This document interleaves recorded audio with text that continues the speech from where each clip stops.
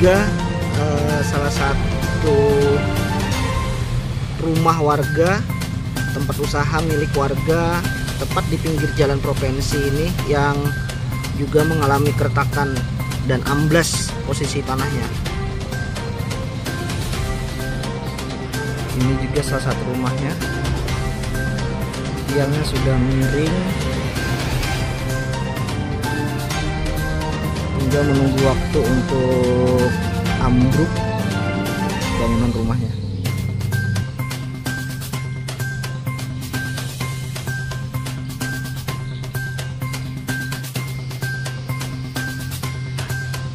Ini salah satu rumah yang terdampak sangat parah.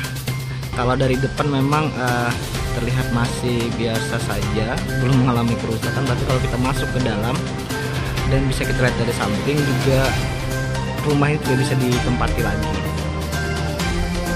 Dan ini adalah tampak sampingnya. Sudah jebol rumahnya.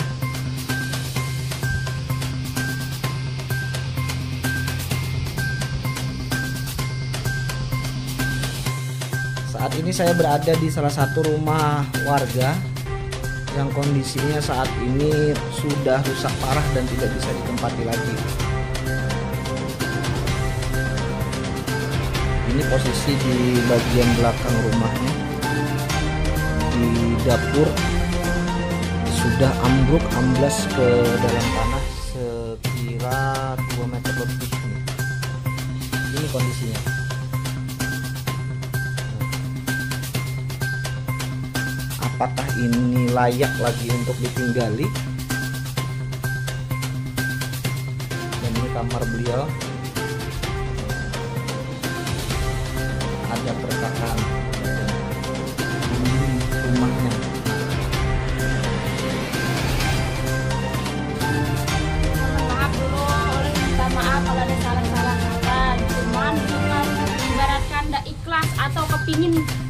ini jalannya enak bukan. Cuman kami ini minta keadilan minta ganti rugi. Bila sudah kami ganti rugi di dalam rumah bikin jalan tidak masalah.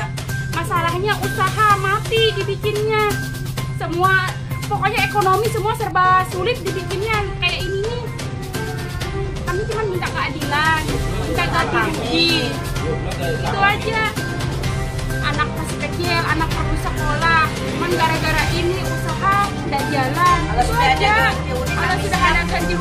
siap pergi dari sini. Kan itu aja demikian dulu itu uh, sedikit keterangan dari warga yang bersangkutan.